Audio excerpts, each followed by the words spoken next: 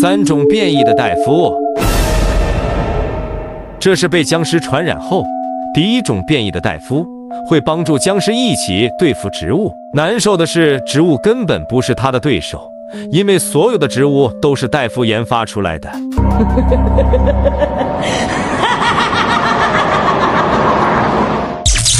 第二种变异的戴夫，就是刚才变异戴夫恢复理智后的他。虽然没有全部恢复，但是已经可以帮助植物一起对付僵尸了。这个时候的植物终于从噩梦中解脱了。第三种变异的戴夫，这这又是怎么了？这戴夫怎么变成大虫子了？哎呦我的妈！